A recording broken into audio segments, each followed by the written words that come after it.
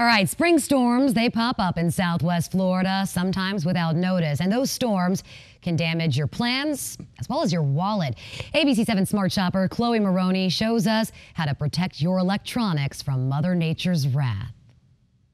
In a flash, I see more computers damaged from rainstorms than anything else. you could lose a lot. Blackout or a power surge can destroy a power supply, a hard drive, a motherboard, or all three of them. Computer technician Steven Shilling from Computer Solutions of America says all too often folks think their PC is protected. And even if you have a battery backup or a surge protector, which claim to protect it from electricity, they don't always do that. And repairs can be costly, or you might have to shell out a small fortune for a new computer if it can't be fixed.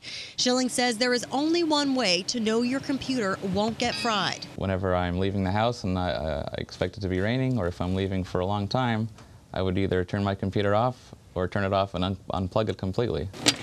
Shilling says while it sounds simple, a lot of people don't do it, but certainly wish they had. The moral of this story it only takes a second to save yourself some time and money. That's today's Smart Shopper. I'm Chloe Maroney.